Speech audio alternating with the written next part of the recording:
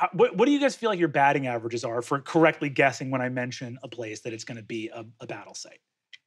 I'd say probably seventy-two percent. 72%. This season, percent. not so. super high. I think about Yeah. seventy three percent. Whoa. Just one percent higher. I think. Yeah, beat him up. Beat him up. Domestic violence. Beat 'em Did up. you just cut his nipples off? um, that's the nip scis. Um, What's up? Out here with the nip scis.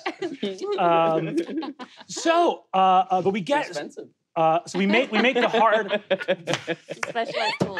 You have to go to a special Nips's shop. There it is. There it that's is, a there it is. bonbon.